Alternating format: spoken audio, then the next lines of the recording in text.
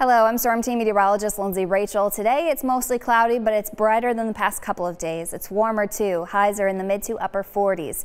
Tonight we see more clouds. Lows are in the 30s. Tomorrow we have a fairly mild day. We also have some afternoon and evening showers. Temperatures are still in the 40s for your Saturday. We stay in the 40s for your Sunday as well. We do have some more showers on Sunday. The day turns colder. While we start out in the 40s, we'll fall into the 30s. We could see a couple of flurries towards the end of the day. A few snow showers for your Monday. Highs are in the 30s. We're only in the 20s on Tuesday, so it's a cold but dry day with some sunshine. It's just a chilly sunshine. We do have the chance for some snow showers for your Wednesday. Temperatures are still cold and in the 20s for Wednesday. We're mainly dry with some sunshine with highs only near 22 on Thursday.